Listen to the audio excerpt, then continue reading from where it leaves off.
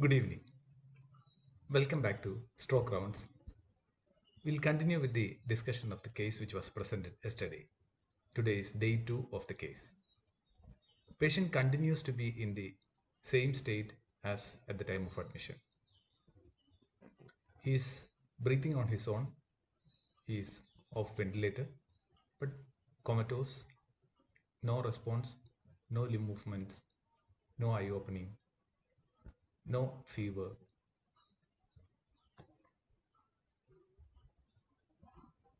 Thank you for the responses. We'll just review the responses. EEG to rule out non-convulsive status, toxic or drug screen, TSH, serum ammonia. Lumbar puncture. We had a case of artery of Percheron like this seen in repeat MRI. Matthew James.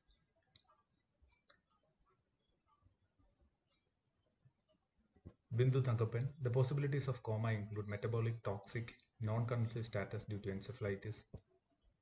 So the possibilities discussed we will go through one by one. TSH was normal, serum ammonia normal, renal functions were borderline elevated 1.7, but nothing abnormal in the blood workup. Artery of Percheron territory infarct, medial bilateral thalamic infarct. That is an uh, excellent possibility, but is it possible in this particular patient? This patient was last seen normal on the night day prior to the admission. That was by around 10 o'clock at night. Then he was found unconscious in the morning and reaches our hospital by around 11:30. We'll review the MRI once again, whether it's artery of Percheron. You should have seen bilateral thalamic infarct, at least some changes here, which is not seen. We reviewed the MRI once again. That's an excellent possibility.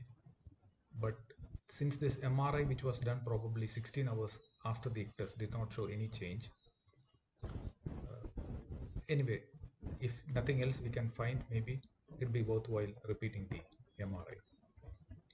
That's an excellent thought. Any patient admitted with a sudden onset loss of consciousness in an altered sensorium with some eye movement abnormalities, always the possibility should be kept in mind. And a repeat imaging is always beneficial because the initial imaging may not show it. Specifically look for artery of Percheron infarct. We did an EEG monitoring in this patient. Actually did continuous monitoring to see whether it's a non-convulsive status. Showed only mild, not uh, diffuse slowing and occasional beta activity also. But nothing specific to diagnose anything. So third possibility, could this be drug toxicity? That was one possibility we considered right from the beginning. Only the son was available because of the COVID issues. Nobody was around. We asked him again and again, is, could this be drug? So he said there is absolutely no chance of it being a drug toxicity. He was not aware of that and uh, he called up his family and told that he was taking Nexito, but they also felt that it is unlikely that it's drug toxicity. But anyway, we have, we have to keep that in mind, a drug toxicity. But this is day two, and uh, so we'll keep that in mind. The we did a lumbar puncture in this patient. The reasons were twofold. One, if you look at the MR, which was we discussed yesterday, there was a dilatation of the distal vertebral and the basilar artery. So could this be an aneurysm, a dissecting aneurysm which has blood? But there is no subarachnoid hemorrhage, there no diffuse blood. Unless there is an extensive amount of subarachnoid hemorrhage, the patient to become comatose is very, very unlikely. But anyway, we did a lumbar puncture with two intentions. The first was to rule out if there is a subarachnoid leak. Second was acute pyogenic meningitis. Acute pyogenic meningitis can be real acute with uh, a sudden loss of consciousness and we have come across this situation at least once in a while. But an LP turned out to be a negative one. There was nothing abnormal on a lumbar puncture and it was non-contributory. This is day three. Patient continues to be in the same state as he was admitted. He is on T-piece, you can see. The patient is having continuous EEG monitoring, which is not showing any evidence of non-convulsive status. Patient is not responding to pain, not moving his limb. Pain, he is not moving.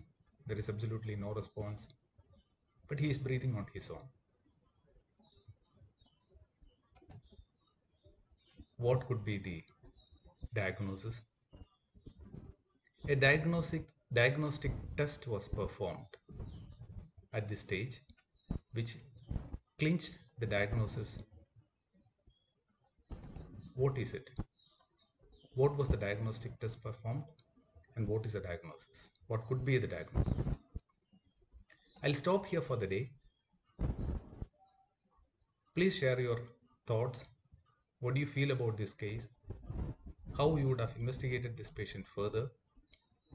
And what other test, investigation, or knowledge would have helped in clinching the diagnosis and treating this patient?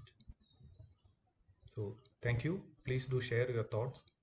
It will be it will be appreciated if you can write the, your comments underneath the YouTube video itself so that it will be easy to review them and reply them in the next session.